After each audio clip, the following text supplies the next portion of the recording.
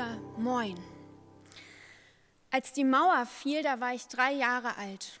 Und so wie überall im Osten hatte das DDR-Regime auch in unserer Kleinstadt in Brandenburg ganze Arbeit geleistet. Der Glaube wurde oft heimlich gelebt. Die Kirche spielte im Alltag der Menschen kaum eine Rolle. So auch in meiner Kindheit und Jugend, Jahre nach der Wende.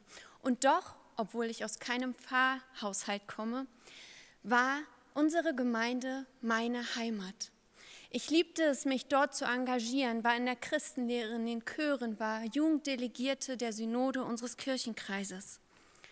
Mein Glaube machte mich zur Exotin in der Schule und dadurch wurde er noch fester. Mit 14 beschloss ich, nur Pastorin will ich sein. Und mit 16 machte ich eine Ausbildung zur Lektorin, damit ich Gottesdienste gestalten kann. Christin sein war in der Uckermark ein Bekenntnis. Und seitdem trage ich eine Frömmigkeit tief in mir.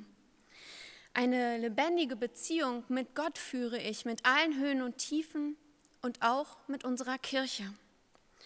Von dort komme ich, liebe Synodale. Heute sieht mein Glaubensalltag anders aus. Ich bin Pastorin einer Kleinstadt in Schleswig-Holstein. Ich darf tun, wovon ich immer geträumt habe. Ich darf das Evangelium in die Welt tragen und Kirche gestalten.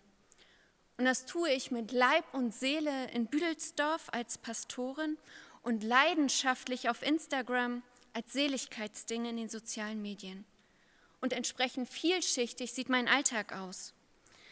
Vor ein paar Tagen traf ich die seit Jahrzehnten ehrenamtlichen Damen des Besuchdienstkreises. Am Nachmittag führte ich ein Taufgespräch. Die Eltern kennen mich von Instagram kamen dann ab und zu in meine Gottesdienste und haben sich nun entschieden, ihr Kind taufen zu lassen. Am Abend feiern wir mit 300 Menschen ganz spontan an einem gewöhnlichen Donnerstagabend eine Andacht auf Instagram.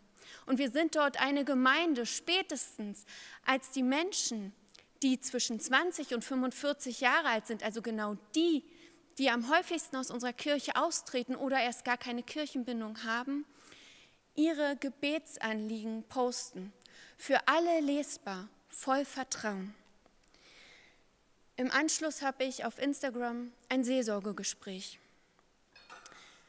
Ich möchte Ihnen sagen, wir als Kirche, wir werden im Netz gehört und wir werden dort gebraucht.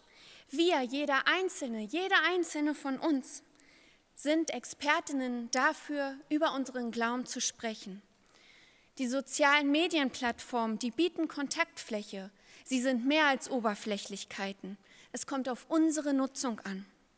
Und ich habe die große Ehre, Menschen mit all ihren Sinn und Glaubens- und letztendlich auch Lebensfragen auf der Suche nach ihren ganz persönlichen Antworten zu begleiten, indem ich mich und meinen Glauben zur Verfügung stelle indem ich zuhöre. Und das kann ich als eine der ersten Creator des EKD-geförderten Netzwerkes JIT vor Selbstbewusstsein sagen.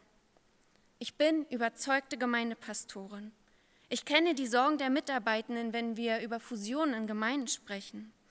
Ich spüre die Sorge über den Nachwuchsmangel und gleichzeitig die Unzufriedenheit derer, die gerade erst in unserer Kirche anfangen zu arbeiten. Kirche ist im Wandel weil sie als Teil einer sich stets verändernden Welt eben im Wandel ist. Und da steht außer Frage nur, wie, das liegt in unserer Hand. Und hier sehe ich die große zukünftige Aufgabe des Rates. Veränderungsprozesse begleiten, immer wieder mit Mut, nach außen und nach innen wirken. Was ich dafür bringe? Meinen Mut.